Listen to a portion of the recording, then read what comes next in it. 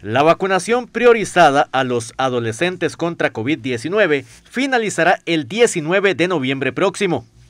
Actualmente, las dosis de vacuna Pfizer disponibles en el país se están destinando de manera prioritaria a la protección de los jóvenes entre 12 y 17 años. Sin embargo, después del 19 de noviembre, este grupo dependerá de la disponibilidad de dosis en los establecimientos de salud de la institución.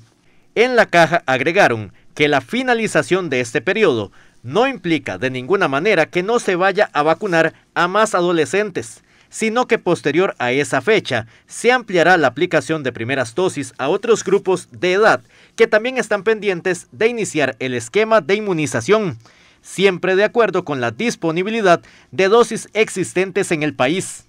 Para recibir la vacuna, los adolescentes deben únicamente asistir acompañados por un mayor de edad y presentar una identificación. En Costa Rica, la vacunación de menores de edad contra cualquier enfermedad, incluida COVID-19, es obligatoria y son los padres de familia y encargados legales los responsables. Las vacunas disponibles se han distribuido en los establecimientos de salud de acuerdo con las proyecciones de la población de adolescentes pendientes de recibir esta dosis.